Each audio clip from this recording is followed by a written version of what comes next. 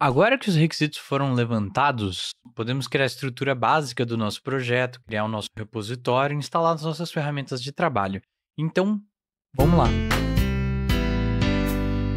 Olá pessoas, eu sou o Dunossauro e boas-vindas ao segundo vídeo dessa série onde a gente vai desde a ideia até a publicação do pacote no PyPI. Para não perder nenhum vídeo dessa série, se estiver curtindo, se inscreve no canal e se você estiver gostando, deixa um like para o YouTube saber que pode recomendar esse conteúdo para mais pessoas. Então, vamos direto para o assunto hoje. A gente vai configurar o nosso repositório e iniciar o nosso projeto uh, com todas as coisas que a gente tem direito e as ferramentas de desenvolvimento agora.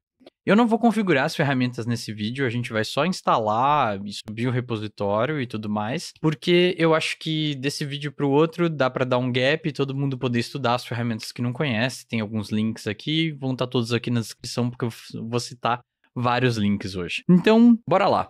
A primeira coisa que eu quero fazer com vocês nesse projeto é usar o Poetry. Então, uh, Poetry vai ser a base fundamental desse projeto. Para fazer o build, para separar as dependências de desenvolvimento, as dependências de documentação, as dependências do próprio projeto, para fazer a publicação no PyPI, a gente vai usar o Poetry para basicamente tudo.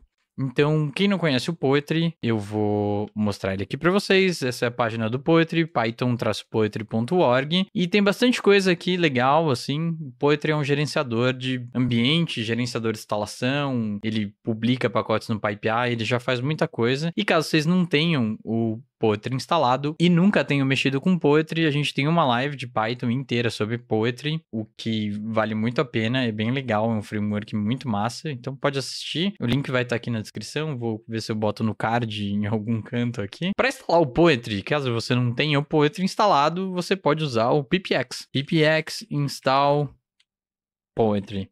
Aí você vai falar, ah, eu não tenho PPX. Eu costumo instalar as coisas que são globais na minha máquina usando o PPX. Caso você não tenha o PPX, eu vou. Você pode instalar o PPX, então, ah, sei lá, pip install PPX. E o PPX também vai ser fundamental porque a gente vai usar ele para testar a nossa ferramenta depois, o nosso CLI, e para instalar coisas esporádicas no sistema eu acho muito legal. E a gente não tem um conteúdo específico sobre PPX, então se vocês acharem legal, a gente pode fazer um conteúdo sobre PPX. Por que não?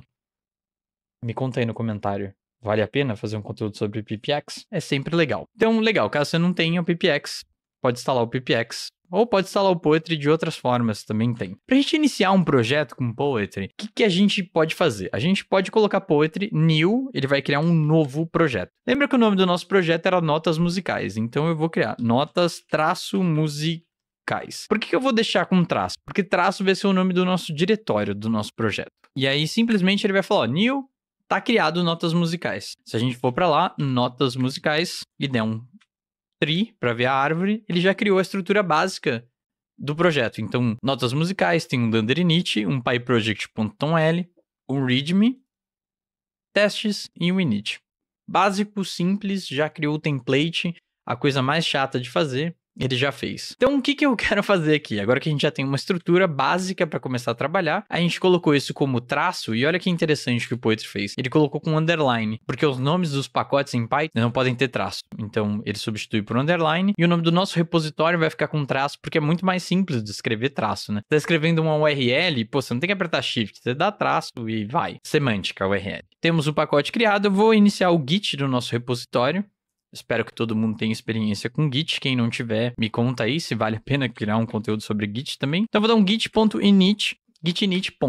para iniciar esse repositório. Então, a partir de agora, a gente tem uma pastinha aqui, L, LA, uma pastinha chamada Git, onde a gente vai versionar o nosso projeto. Agora eu quero subir esse nosso projeto lá pro GitHub que eu acho que é prático e todo mundo consegue ver, é uma ótima forma de contribuir e fica um código num lugar que todo mundo pode acessar. Para criar esse repositório no GitHub, eu vou usar uma ferramenta chamada GH, que é uma ferramenta do próprio GitHub. Então, GitHub uh, repo create. Aí ele vai perguntar: você quer criar um novo repositório do zero ou você quer subir um repositório local para o GitHub? A gente acabou de criar com git init, o comando que a gente deu antes git init, então a gente vai subir um repositório que já existe. Então, na setinha aqui, push next. Legal. qual é o path que a gente quer, aonde está esse git, está aqui no mesmo lugar. A gente criou o git init ponto e é no ponto que ele está. Qual que é o nome do repositório? Notas traço musicais. Beleza. Quem vai ser o owner? Se você não tiver nenhuma organização, isso aqui não vai aparecer, mas Donossauro. A description desse pacote eu vou deixar vazia, depois a gente configura isso. E esse repositório vai ser público, privado ou interno, vai ser público para todo mundo poder ver. Adiciona o remoto, então beleza. Toda vez que eu comitar e der push, a partir de agora vai subir pro Git? Sim. Eu quero criar um novo remoto chamado Orange, que vai ser a origem? Sim, também.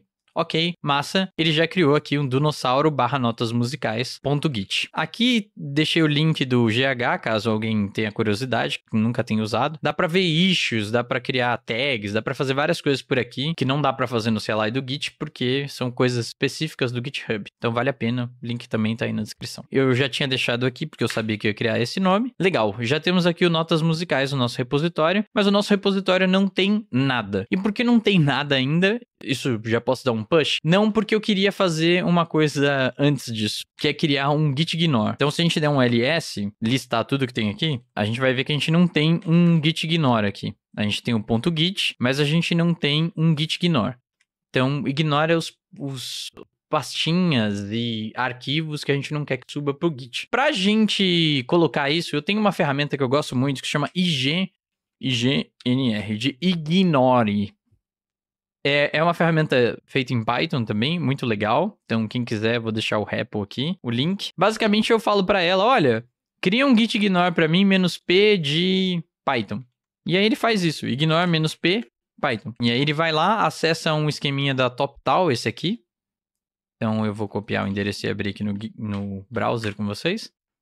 É um lugar que ele baixa todos os pacotinhos já de Python. Então, tá aqui todas as coisinhas que ele quer ignorar, pasta de build, distribuição, eggs, lib, então já fica bem mais simples. Então eu posso simplesmente falar isso aqui, ah, cria um ponto git ignore para mim. Então, se ele criar um ponto git ignore, se a gente der um LA, tá aqui, git ignore. Se a gente der um, pra gente quiser ver esse arquivo, que é git ignore, tá aqui, já bonitinho, formatado, boni bonitinho legal, para mim já tá bom agora. Então, esse é o meu commit inicial. Vou subir a estrutura do código pro Git, Git Edge. Ponto. Vou adicionar tudo. Não recomendo que vocês façam isso sempre, mas ponto. Tá tudo bem. Quero, porque eu quero subir tudo que tem no repositório agora. Então, git commit. Então, vou mandar uma mensagem aqui. A commit inicial. Estrutura do projeto. Beleza. Vai subir tudo aqui. O git ignora o readme que é vazio, notas musicais, o pacote init, o pyproject, .l e o testes. Beleza, git. Aí ele vai me perguntar, ah, você quer subir isso aqui pro Orange Main, set upstream, que é para ir pro GitHub. Quero. Rodei.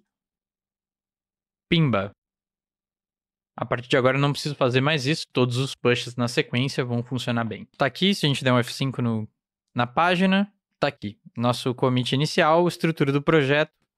Massa, tudo bonitinho. Aí agora, uma coisa que a gente tem que fazer e que eu gosto de fazer antes de pensar, eu eu, eu tenho isso comigo assim. Né? O que que eu vou usar nesse projeto para testar, para validar se o meu código está correto, um linter, que ferramenta que eu vou usar para documentar e por que que eu gosto de pensar isso agora? Porque como esse é um projeto que a gente vai criar junto, publicamente aberto, imagina que eu não boto uma ferramenta de documentação e alguém vem e fala, pô, vou escrever documentação no framework que é um framework que eu não conheço, framework que eu não tô acostumado. Ou qualquer outro tipo de coisa, sabe? Depois a gente fala, ah, agora dá para usar XPTO, sabe? Depois que o projeto já tá em andamento, eu gosto de definir, eu sou pragmático, desculpem por isso. Então, agora eu quero pensar, que ferramenta eu quero usar para escrever os meus testes? Então, de praxe, eu gosto de usar o PyTest. PyTest é a ferramenta basicamente default, talvez a melhor ferramenta que a gente tenha em Python para fazer esse tipo de coisa. Você nunca mexeu com PyTest, tem dúvida, a gente tem uma live de Python de introdução ao PyTest, que é a 167, e a 168 é uma live sobre fixtures, que é uma outra funcionalidade bem legal do PyTest também. Então, se quiser, vale a pena. Link do PyTest e do da live aqui na descrição. Então, legal. Vamos adicionar o PyTest aqui. Poetry, Edge. E aí eu preciso criar um grupo para desenvolvimento dessa ferramenta. Então, o que significa? Que eu vou isolar essa dependência lá no meu PyProject para um lugar que é especificamente de desenvolvimento. Ou seja, quando eu gerar o pacote de produção, ele não vai junto com o PyTest. Então vamos ver, Cat PyProject, por exemplo. Nosso PyProject tá aqui, notas musicais, não tem uma descrição, tudo mais. Ele fala, ó, qual é a dependência desse projeto? Python 3.11 ou maior, porque é a versão do Python que eu estou usando, mas ele não tem uma dependência de desenvolvimento aqui. Você está vendo que eu estou usando o Python 3.11.1 aqui. Foi como eu criei o pacote. Depois a gente pode ver de abaixar essa release, aumentar, tanto faz. Então vamos lá. Poetry, add, menos menos group. Então group. E aí qual é o grupo que eu quero criar? Eu quero criar um grupo de desenvolvimento. Ou seja, ferramentas de desenvolvimento. Dev. E aí eu vou instalar o PyTest aqui. PyTest. A partir desse momento, se a gente for lá no nosso PyProject, provavelmente já está tudo funcionando e ele já instalou o PyTest lá. Vamos lá, cat pyproject.l. Aqui, ó, dependências, dev, dependence. Então tá aqui, PyTest. PyTest 721 ou maior, que é esse chapeuzinho aqui. Qualquer versão maior do que essa vai funcionar. Uma coisa que eu gosto de fazer quando eu estou escrevendo testes, porque geralmente eu estou escrevendo os testes ao mesmo tempo que eu estou programando. Sei lá, o pessoal gosta de fazer TDD eu, eu tô falando bastante aqui porque eu acho que essa experiência de como eu faço, que é o que vocês estão acompanhando aqui junto comigo, a maneira que eu gosto de programar, então acho que vale a pena deixar esses comentários. Eu não costumo escrever o teste antes de escrever o código, mas eu também não escrevo o código antes de escrever o teste. Eu gosto de ficar pingando, assim, sabe? Pô, eu pensei na estrutura mais ou menos, aí eu escrevo o código, depois eu escrevo o teste, às vezes eu gosto de pensar no teste antes. Então isso para mim é uma luta às vezes. Então, como eu prefiro ficar alternando entre esses módulos de fazer as coisas, eu gosto de saber sempre a cobertura. Às vezes eu boto um if que eu não testei e aí eu quero saber como é que está acontecendo. Então, ferramentas de cobertura, a gente tem o PyTest Cov, que ele instala o Coverage, que é uma biblioteca muito legal para ver a cobertura do código em Python. E aí eu gosto de usar isso aqui porque ele roda o teste, já gera a cobertura e eu fico sabendo, ah, esqueci, não passei por esse fluxo aqui. Obviamente é uma questão de mentalidade, porque nem sempre a cobertura é, é real, realista, né? Tipo assim, às vezes você só passou, mas não testou aquilo de fato. Mas eu gosto de saber, porque às vezes eu acho que eu esqueci alguma coisa e tal. Gosto de voltar sempre na cobertura e ver isso aqui. Então, vou adicionar isso também na, no grupo de ferramentas de desenvolvimento. Então, PyTest traço cov. Com isso, a gente já tem uma ferramenta de coverage. Tanto que ele instalou aqui o coverage como dependência disso aqui. Legal. Agora, Cat PyProject, Tá aqui, PyTest, PyTest Cov como uma extensão para garantir a cobertura de testes. Uma outra coisa que eu gosto de definir antes de começar a programar é são a padronização do código que eu vou seguir. Ah, por exemplo, ah, eu gosto de fazer vertical harder indent no que é tipo colocar uma coisa identada na outra com vírgula no final, sempre. É uma coisa que eu gosto de fazer. Então, outra coisa que eu gosto é da PEP8, por exemplo. Eu gosto de seguir 79 caracteres por linha, eu gosto de usar aspas simples em vez de aspas duplas. Eu tenho várias condições com code style. É um jeito que eu gosto de programar e existe uma ferramenta para verificar se o código segue esse padrão, que é o padrão que eu gosto de programar, que é o padrão da PEP8. Quem não conhece a PEP8, também vou deixar o link aí embaixo, é o guia de estilo para como o código Python deve ser. Então, por exemplo, eles vão dar várias sugestões aqui, tipo assim, ó, você pode fazer esse tipo de quebra de linha, tá certo. Ou você pode começar com quatro espaços. Aí, ó, harden e dente. Então, se você for começar duas linhas, tem que começar na mesma coisa. Então, ele vai dar várias sugestões de como se deve fazer, como faz um end, como é que você quebra uma lista. Então, qual é o tamanho total da linha, 79 caracteres. Eu gosto bastante de seguir esse guia. Então, se alguém quiser também, tem o pep8.org, que tem dicas menos, sei lá, o, acho que a Pepe ela é bem difícil de engolir às vezes de ler. Então aqui estão as mesmas sugestões, mas aqui tem mais detalhes e tudo mais de como a PEP 8 funciona. Então eu gosto de seguir a PEP 8 à risca. E para seguir a PEP 8 à risca, eu gosto de um formatador de código chamado Blue. Eu não gosto de usar ele para formatar o código de fato, mas para verificar se a PEP 8 está sendo seguida da maneira que deveria. Existem outros formatadores e o pessoal gosta deles também, como o Black, que é um outro projeto de formatação. Ele tem um padrão diferente, 88 caracteres por linha, aspas duplas. Não é muito a minha linha. Eu prefiro o Blue, então eu vou instalar o Blue. para seguir todas as minhas diretrizes. Então, poetry, add, menos menos group, dev, blue. Uma outra coisa que eu gosto de fazer é ter importes ordenados, porque essa é uma boa prática na, na coisa de Python. Então, por exemplo, quando você programa junto com alguém que tem baixa visão, alguma coisa assim, ou uma pessoa que não consegue enxergar, essa pessoa pode tentar voltar nos importes, os importes não estão em ordem alfabética, então imagina ter que ficar lendo no, a, a, todas as linhas ao mesmo tempo, até você achar o importe que você precisa. Então eu gosto de uma convenção de importes que é dada pelo iSort, que é uma outra biblioteca de lintagem, né, para verificar se o código está da maneira que deveria. Então o iSort ele ordena meus importes, então ele separa ah, primeiro os importes da biblioteca padrão, aí ele pula uma linha. Segundo, os importes da, das bibliotecas externas. Terceiro, os meus próprios importes do meu próprio módulo. E aí ele vai fazendo esse esquema para mim e verificando se eu estou seguindo tudo isso em ordem alfabética, se, sei lá, from, não sei o que lá, import tal, se e essas coisas em ordem alfabética, tudo em ordem alfabética é lindo demais. E aí eu gosto de usar uma coisa dele aqui que é o Vertical Hardening Indent. Aqui, ó, Multiline Options. Eu gosto de usar esse formato aqui, ó, vertical, hanging dent. É o 3. Então, eu gosto sempre de manter isso aqui, tanto na quebra de linha, o Blue já faz isso, quanto nos imports eu gosto de seguir esse esquema aqui. Para a gente poder padronizar, Poetry, Add, menos, menos, Group, Dev, iSort. Legal, essas são as ferramentas que eu vou instalar para desenvolver. Então, só recapitulando aqui, o PyTest para escrever os testes, o PyTest Cove para pegar a cobertura, o Blue para verificar se eu estou escrevendo o código no code style que eu gosto e que segue a PEP 8, e o iSort para ordenar os imports, porque isso faz total diferença, tanto para mim que preciso ler, quanto para pessoas que precisam encontrar isso e às vezes não tem a melhor forma possível de se fazer isso. Então, aqui iSort. Então, legal. Outra coisa que eu gosto de pensar já antes o que, que eu vou usar para documentar esse projeto. Como eu quero que isso seja uma biblioteca, isso seja aberta, a gente vai publicar isso no PyPI, as pessoas vão poder usar, eu preciso de documentação. E eu posso documentar isso com várias bibliotecas. A gente tem basicamente duas que são muito famosas, o Sphinx e o MKDocs. O Sphinx é mais focado em projetos Python, a documentação do próprio Python é feita no Sphinx, e a gente tem o MKDocs, que é uma biblioteca muito massa também, que funciona bem legal. Por exemplo, essa, docu essa documentação do iSort é criada com o MKDocs, com um tema chamado MKDocs Material, que é esse teminha aqui. Eu acho ele muito bacana, então eu vou usar MKDocs. Também tem uma live sobre MKDocs lá no, no, na live de Python, não deixei o link aqui, mas numa aba aqui, mas eu deixo o link aqui na descrição se alguém quiser ver depois. Então eu vou usar o Material MKDocs para ter uma documentação bonita, legível. Eu gosto bastante disso. Então, vou usar o MKDocs Material. Então, vamos lá. Agora eu vou criar um novo grupo aqui, que em vez de grupo de dev, ele vai ser um grupo de doc para ferramentas de documentação, porque eu vou instalar não só o Material MKDocs, mas eu vou instalar mais outras coisas.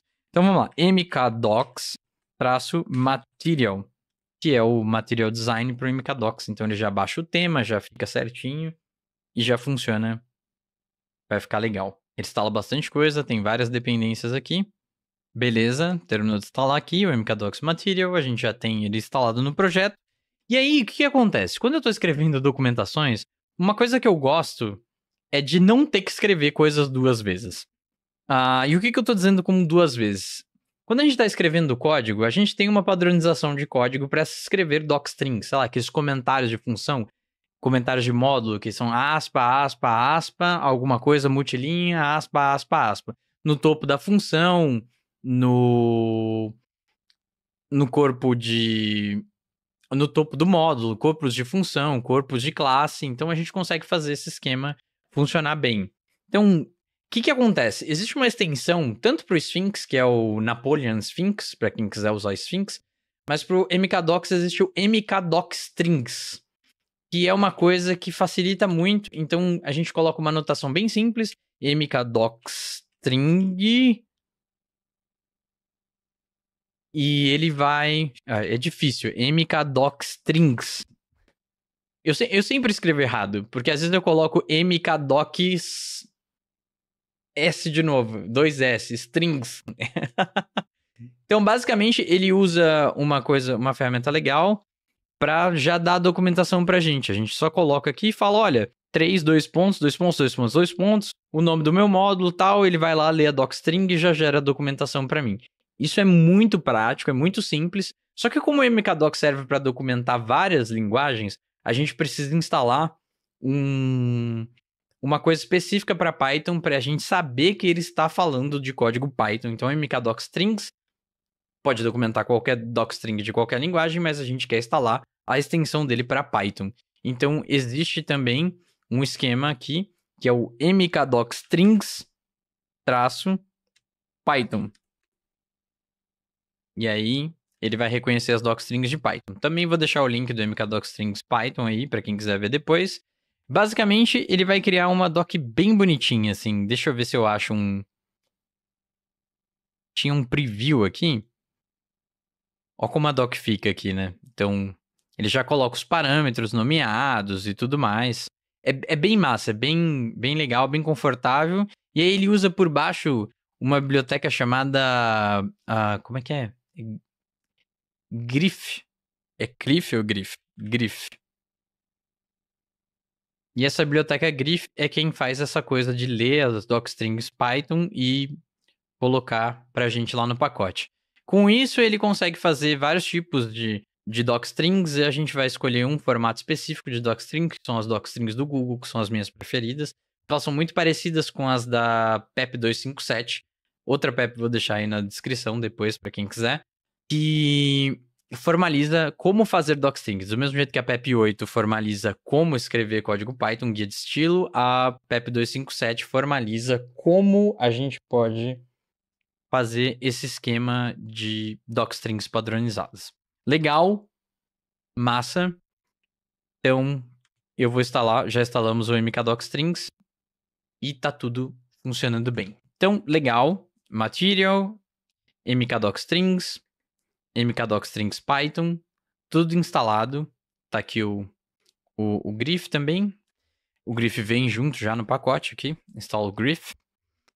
Então, outra coisa que eu gosto de usar muito é automação de tarefas. Eu não sei se vocês têm esse mesmo costume que eu, mas muita gente que se, ah, costuma criar scripts para executar uma coisa. Ah, eu preciso executar, por exemplo, o PyTest. Aí o PyTest tem tipo 50 flags. Sei lá, PyTest mostra a saída. Então é menos X. Sei lá, eu vou escrever aqui com vocês. Então, sei lá, PyTest. PyTest que mostra a saída, menos X. Com a saída verbosa, menos V. Dupla verbosa, massa. Com coverage, menos menos cove, igual a onde é o negócio que ele vai cobrir. Sei lá, notas un underline musicais. Você está vendo que os comandos vão ficando gigantes, vão ficando muito grandes. E eu não gosto de fazer isso, eu gosto de automatizar coisas e escrever de maneira simples, sabe? Pô, só roda pra mim e é isso aí. Faz isso aqui, teste. E aí funciona. Muita gente usa Make para fazer isso, GNU Make. Tem uma live sobre GNU Make no canal, mas eu gosto de usar uma ferramenta chamada TaskPy.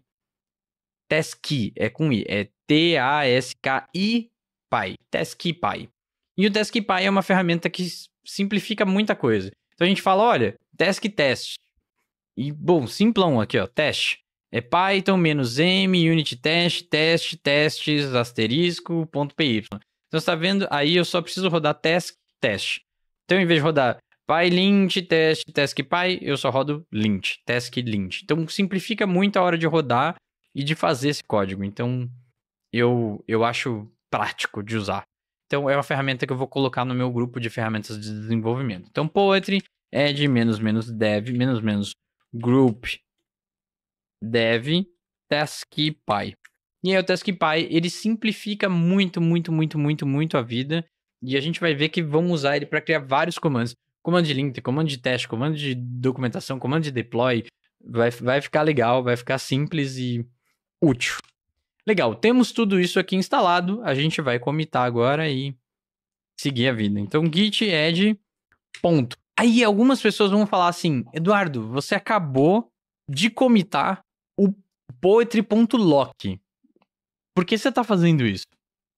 Existe uma, uma discussão muito clara, assim, se a gente deve comitar esse arquivo sei lá, eu devo colocar o lock no repositório ou não devo colocar o lock? Eu recebo muito essa pergunta, tanto antes, quando a gente usava, sei lá, o PipEnvy também faziam essa pergunta. A ideia de comitar o lock é que a gente tem um ambiente determinístico. E o que, eu quero dizer com ambiente determinístico? Quer dizer que eu posso, daqui cinco anos, precisar instalar essa mesma versão que está nessa branch que eu acabei de usar. Agora, isso aqui. Antes de instalar qualquer coisa, de criar aplicação, eu quero voltar exatamente nas versões dos pacotes e nas versões das dependências do pacote que eu instalei agora. Então, o pointer.lock garante que eu consiga voltar no ambiente. Então, ele vai me construir um ambiente determinístico. Então, beleza. Eu tô aqui, você tá aí na sua casa. Como é que a gente vai fazer para subir isso igual? Então, o poet.lock garante que a gente consiga ter o mesmo ambiente exatamente do mesmo jeito. Então, eu vou comitar o poet.lock. Sim. Pessoas, tem gente que não gosta, eu vou comitar isso aqui, porque eu acho que vale a pena. Então, git add, ponto de novo, ah, já tinha adicionado. Git commit menos m, e agora a gente tem aqui dependências de desenvolvimento. Git push. Voltamos lá no repositório, tem que estar tá tudo lá.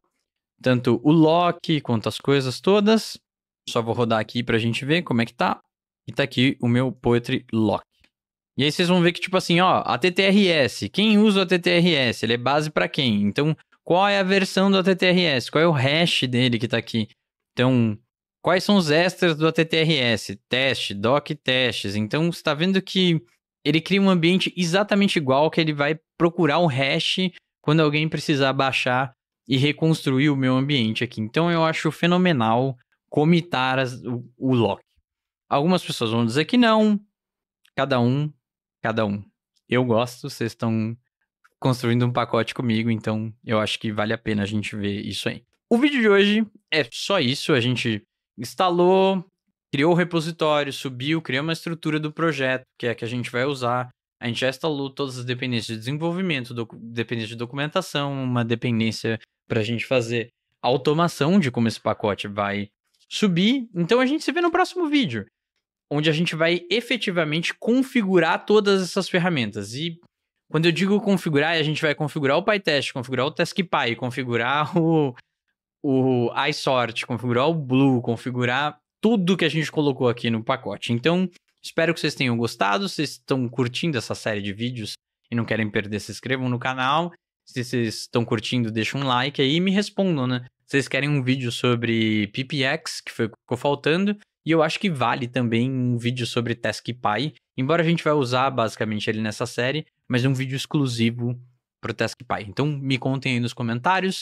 Eu vejo vocês no próximo vídeo para a gente fazer as configurações. Um beijo e tchau!